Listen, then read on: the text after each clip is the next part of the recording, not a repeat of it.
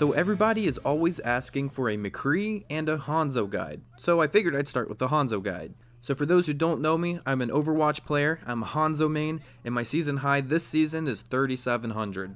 I've kind of built a reputation as being a Hanzo player, so if you see any Hanzo jokes across the comment section on my videos, it's because I'm a Hanzo main.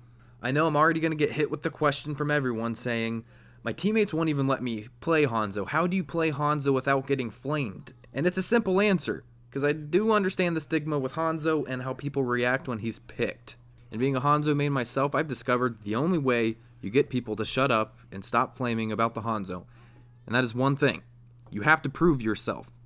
Basically just get a lot of kills. if you're a bad Hanzo, you have weak stats because you know people are going to check your career profile when you pick them. It happens to me every time. I'm lucky because I do have a positive win rate on Hanzo, so people don't care as much, but if you have a negative win rate on Hanzo, even if it's like 49 or 50% win rate, if they don't see your name in the kill feed like every 20 seconds, they're going to blame you. It's the nature of Hanzo, you just have to understand what you're getting yourself into.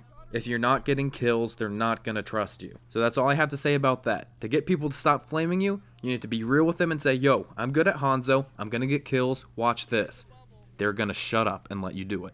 So now here are the tips, and here's the stuff that I'm doing every game when I play Hanzo. So I play Hanzo on almost every 2CP map on defense. So my favorite part about Hanzo and why he's so incredibly good, no it's not scatter, no it's not one-tap headshots, yes those are both amazing, but it's his Sonic Arrow guys. Sonic Arrow lets you see through the walls, lets your team see through the walls, it's, it's honestly the strongest part of his kit, and I don't think most people realize that.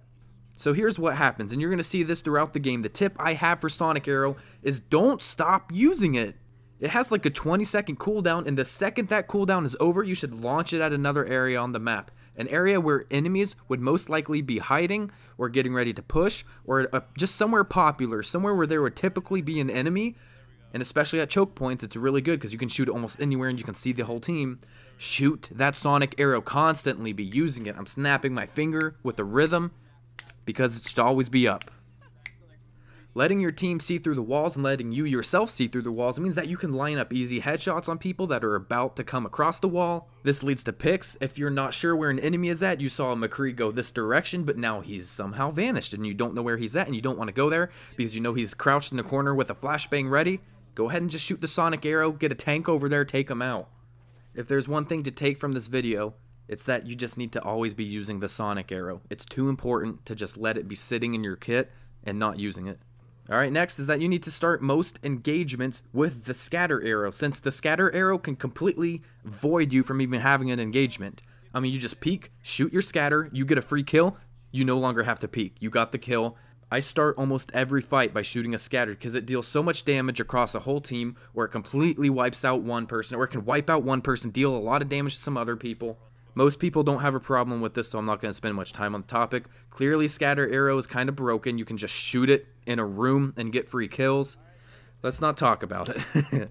in case you don't know, you typically want to shoot it right at someone's feet, or I mean, you want to shoot it like a foot ahead of their feet on the ground at an angle so that it hits the ground and angles back up, making like a V shape and kills them. And so, one of the lovely parts about playing 2CP maps and being on defense, and why I like playing defense Hanzo on 2CP, is that I'm always on the high ground. Now you see the defenders always have high ground. If you pay attention to every 2CP map, what does the defense have that the offense doesn't? High ground. And Hanzo players love high ground. It's easier to hit headshots because when you look down, you see the head first, that means you're getting faster kills. Your scatter arrow, you never have to worry about hitting weird angles with scatter, like if the terrain, like if the ground terrain is bumpy or whatever. You don't have to worry about that as much. You just look down, scatter, or look down, shoot, or it's Sonic, whatever. You have the perfect spot for peeking.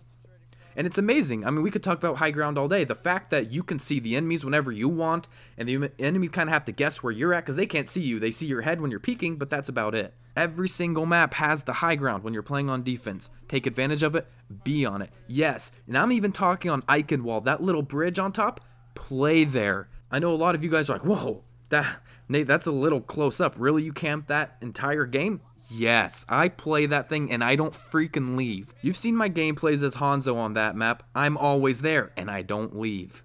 Alright, and then you also got to know who you can and cannot kill.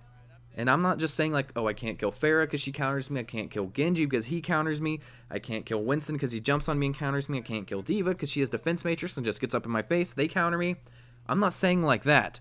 And also, I'm going to completely debunk everything I just said. You start to learn who you are good at landing shots on and who you are bad at landing shots on. So you know who to engage and who to run away from. This is very much a fight or flight situation. When Pharah boosts up into the air and she starts spamming rockets on you, do you start running away and get back to your healers if they're not near? Or do you go ahead, stand your ground, play the peeky peeky game with her and try to take her out? For me, I play the peeky peeky game. I try to better position myself against Pharah, but I try to take her out. Because I can, and I've played enough Hanzo to now I'm at the point of where I've been able to consistently kill Pharah. it's going to take a while to build to that, so probably don't start with that off the bat. Run back to your healers and you'll probably just want to switch to Soldier or McCree in the first place. When you're actually getting kills with Hanzo, and when you're a good Hanzo, you're going to start seeing people swap to Genji and Pharah and Winston and D.Va. Only one hero out of everyone I just listed can be an actual problem.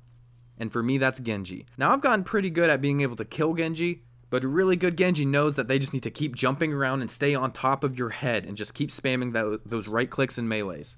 Genji is really the only problem I occasionally have. And a lot of you are wondering, okay, well, what about Winston when he jumps on you, or D.Va when she just holds down defense matrix and flies at your face? Yeah, guys, you can win those fights. I laugh hilariously when a D.Va sees me over on high ground somewhere and she just charges in at me. I'm always going to win the fight. I hope you guys know that. Hanzo beats D.Va. Every time. Usually you see me laughing and talking about this whenever I play Hanzo on my stream, which, by the way, if you're watching this video right now, the night it uploads, I am streaming right now, so you should go check that out. I have the link down below.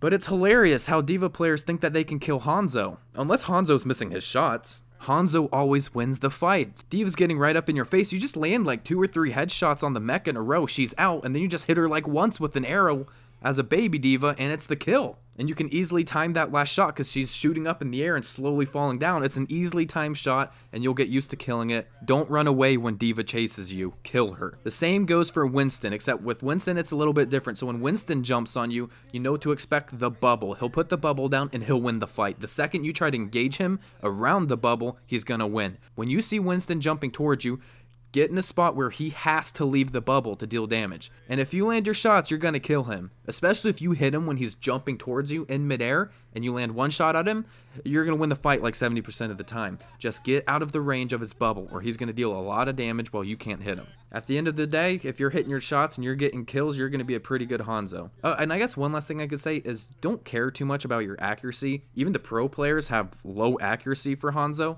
And honestly, for me, and this is more of a my playstyle type of thing, I spam arrows all the time. I mean, think about it. if you're shooting a sonic arrow at a wall just to see where enemies are, your accuracy is going to go down. So people that flame Hanzos for accuracy, you're probably not a great player, or you may not just be thinking it through. Hanzos spam a lot, and they shoot walls just because they want to see through it so don't ever flame Hanzo for his accuracy. So I really hope that you guys enjoyed this video. There are people out there that want to be Hanzo mains. I know a lot of you are saying, don't encourage him, Nate. Don't encourage him, Nate. But guys, come on. He's one of my favorite heroes, and I've the only reason I've been able to win my games with Hanzo is because the people were able to let me play him in my competitive games. And we all have to start somewhere. That's a very true statement. We all got to start somewhere. And make sure you're serious about playing Hanzo. If you need to switch, dude, please switch. Don't give us a bad name. We already have a bad rep as it is. I'm trying to build up the reputation of all Hanzo mains around. Go ahead and switch if you're not doing well. Because you'll see me switch when I'm not doing well, man. So I want to address the streaming situation. For you guys that have been following my channel for like the past two weeks, you're probably sick of hearing about the Twitch stuff, and I completely understand. I don't want to keep cramming it down your throat. I, I, I really don't. But right now I have a goal, and that goal is to be partnered with Twitch, and I think that can happen here in like two weeks. I'm going to apply for the partnership program, but I think I, I, just need some more followers and I just need to get a few more streams under my belt. We've been getting a lot of viewers. We get like anywhere from 60 to 200 and it, it's really cool. And I'd really appreciate it if you went over and checked the stream because I've been streaming the nights I upload. I have my streaming schedule fit to the YouTube upload schedule. So the night this goes up, man, Sunday night, I'm going to be live until like 10 o'clock Eastern time. So I hope you guys really enjoyed this video. You know I definitely enjoyed it because I love talking about Hanzo, my, one of my favorite heroes.